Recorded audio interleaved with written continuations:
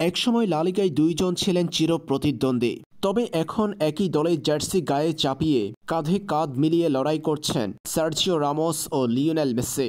Football মাঠের ভিন্ন দুই পজিশনের সময়ের অন্যতম সেরা দুই তারকাকে গত মৌসুমের শুরুতেই দলে ভিড়িয়েছে প্যারিস স্যান্ট জার্মেইন একসময় লালিগায় বার্সেলোনা অধিনায়ক ছিলেন লিওনেল মেসে, অন্যদিকে সার্জিও রামোস ছিলেন রিয়াল মাদ্রিদের অধিনায়ক। এল ক্লাসিকোর চির বৈরিতা ভুলে ব্যক্তিগত তিক্ত সম্পর্ককে পিছনে ফেলে এখন পিএসজির জার্সিতে লড়াই করছেন একসাথে। মেসি রামোসের সম্পর্ক কেমন দলটিতে তা নিয়ে প্রশ্নের শেষ নেই ভক্তদের। এবার লিওনেল মেসির সঙ্গে নিজের সম্পর্কের কথা জানিয়েছেন সার্জিও রামোস। জানিয়েছেন প্রতিপক্ষ মেসি আর বন্ধু মেসির মধ্যে পার্থক্য। কোনটা সবচেয়ে মধুর? লিওনেল মেসির সঙ্গে সম্পর্ক নিয়ে সার্জিও রামোস বলেন, আমাদের মধ্যে দারুণ বন্ধুত্বের সম্পর্ক রয়েছে। এটা সুন্দর ব্যাপার। আমাদের লক্ষ্য একই। পিএসজিকে চ্যাম্পিয়ন করা।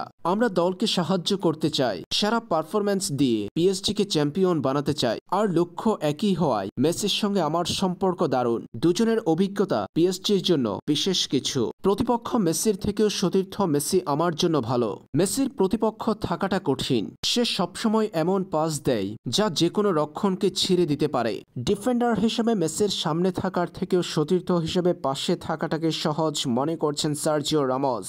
আর্জেন্টাইন ফরওয়ার্ডের সঙ্গে নিজের সম্পর্কের কথা জানাতে গিয়ে এমনটাই জানিয়েছেন স্প্যানিশ এই ডিফেন্ডার।